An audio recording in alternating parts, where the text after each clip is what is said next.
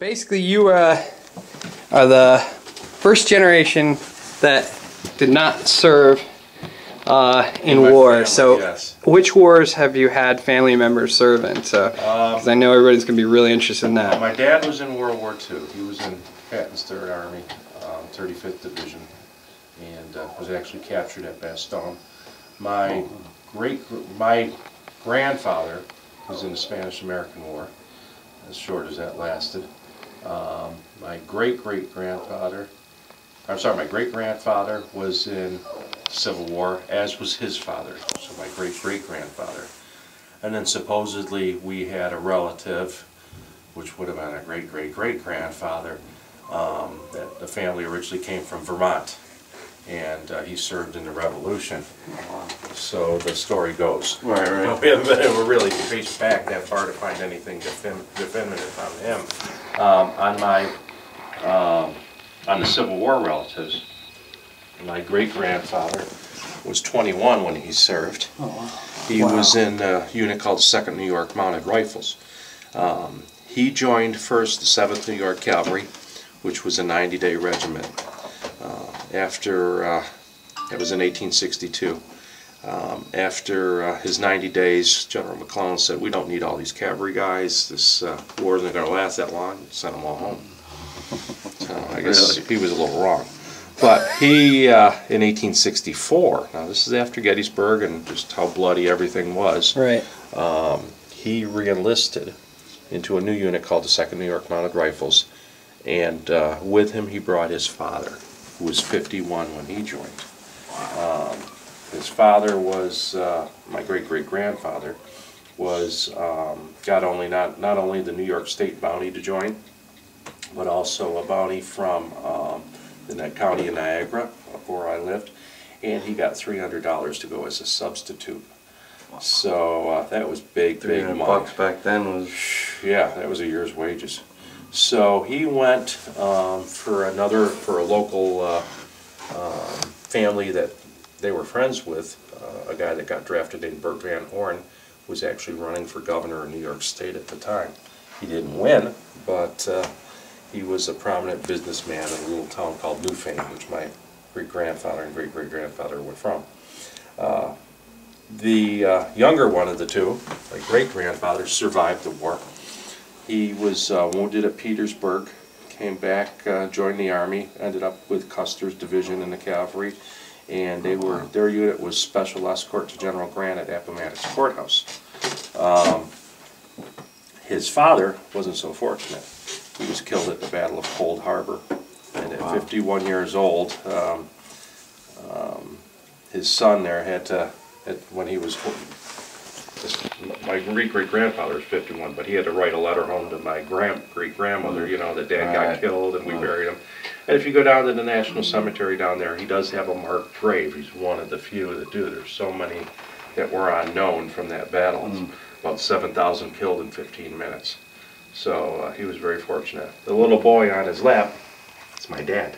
Wow, That's It's awesome. My dad's grandfather. That is really awesome. That's amazing. So, t- um, yeah. So your father, your father was uh, in World Yeah, War. my dad was in World War II. Um, I was born in 1958, so I came around rather late in their life. But um, my dad was uh, um, drafted. He was 27 years old during the war, and uh, he joined the army uh, and was put in um, a unit from, I guess it would be the Midwest, um, the Kansas National Guard. It was mostly those guys now. My dad, as I am, from upstate New York, so uh, he was what, what they called a replacement. And uh, with a lot of these uh, veterans, um, these replacements were pretty much expendable. So, uh, you know, they sort of took care of their own and, uh, you know, let the new guys share the brunt of, uh, you know, some of the worst fighting or whatever, because, you know, they figure they've been through theirs. So, uh, some of the new guys have a taste of it. So, um, he went over, he was trained as a mortar operator. And um, when he went over, uh, joined the unit, it was about 15 days after D-Day. And uh, one of the first battles they were involved in was in a place called St. Lo, It was basically to uh, get some of the, uh, to help get all the troops that were pinned down on the beaches up into the, uh, um, what the heck do they call that? The bocage, which is the, um, um, oh, the hedgerow country, which was a real hard, a lot of hard fighting there. But um, later on uh, in the campaign, um, they were uh, um, sent to help uh, relieve the 101st Airborne, who was trapped at a place called Bastogne during the Battle of the Bulge.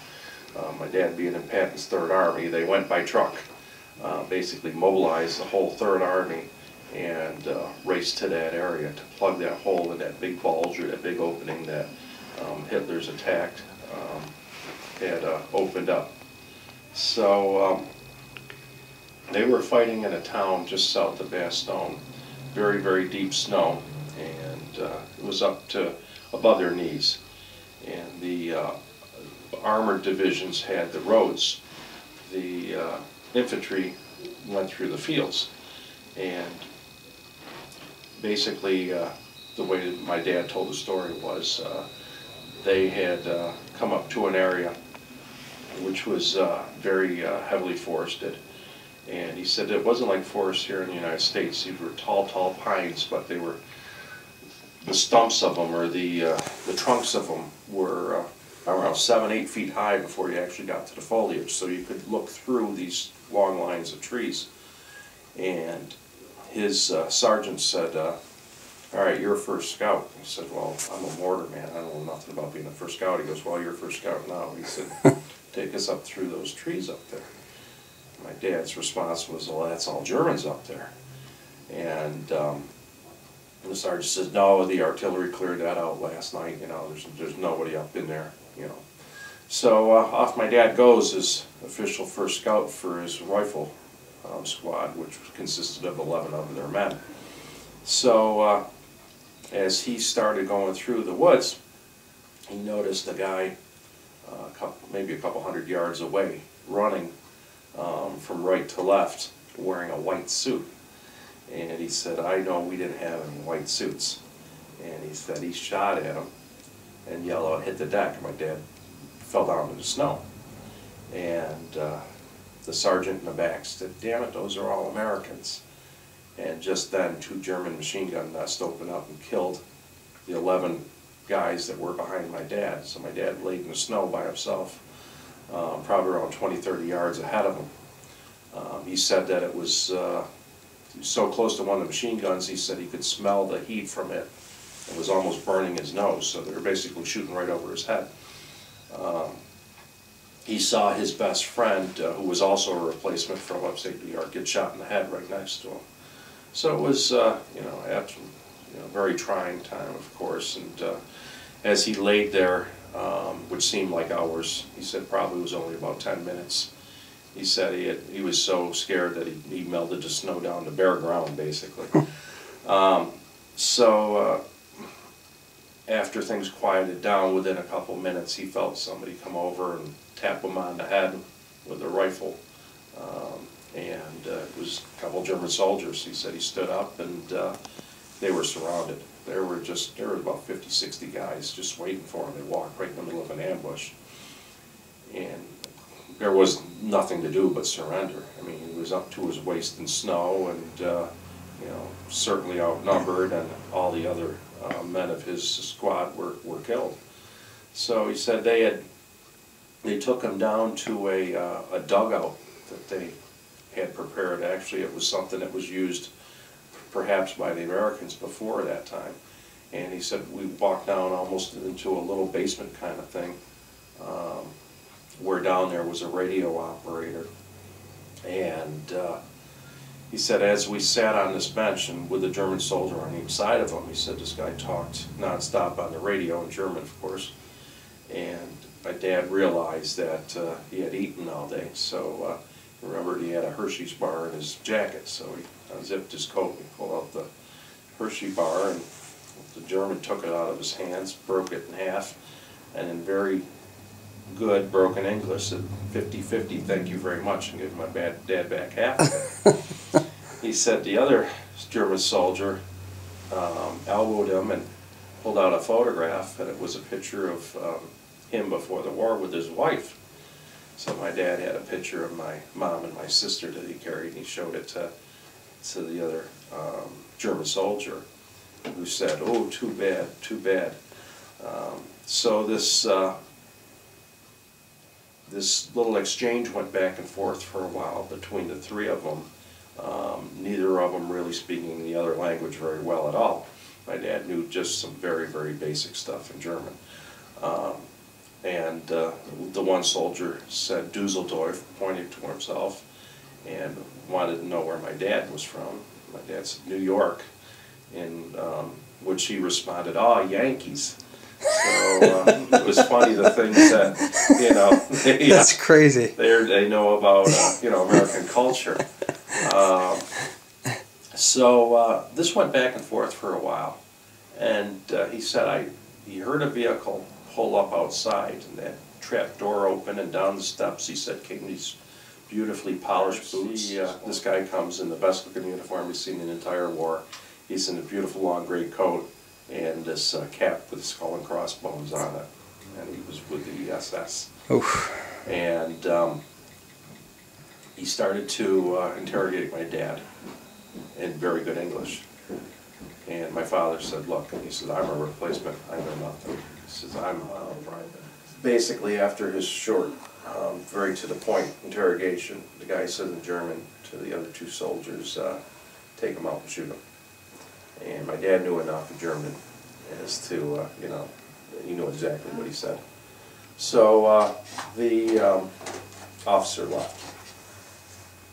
So the two soldiers uh, rose to their feet, got my dad up, and he said, uh, as they left the bunker, he said um, uh, he was just waiting for a bullet basically in the back of his head. And uh, they walked through the snow and they could see all the other troops were leaving, mobilized, and they were getting out of there quickly. Um, Which left these two guys and my dad uh, walking through the snow. So he said, we walked for a while, and it was evident they weren't gonna be shooting me right away. He said, I didn't know where we were heading. Um, So he said, we walked and walked, and again, they kept trying to ask my dad's questions about how far away they were and everything else from the United States and all that. And um, Good, how are you? they came up to a, a See you point do. where there was a hill, and uh, the guy wanted my dad to stop. He ran to the top of the hill. They could hear squealing noise Mhm. off in the distance, and um, he motioned for my dad and the other uh, soldier to come up. And as they reached the top of the hill, they could see about a mile away all the armor divisions of Patton's Third Army coming in. So the two Germans looked at each other, took off their rifles and handed them to my dad and surrendered to him. That's awesome. So uh, the three of them returned back to the line, um, met up with the armored divisions, and my dad said, "Take care of these two guys. They were supposed to kill me, and uh, you know they thought it would be more prudent to surrender." So It's uh, awesome story. that's why I'm here today. Yeah. and so now you're shooting cameras instead of guns. Yes, Right? exactly. Yeah, awesome. Exactly. Well, if you guys are looking for uh, to get pictures taken, this is the man to do it. So next stop in Gettysburg, this is where you go. well, thanks so much.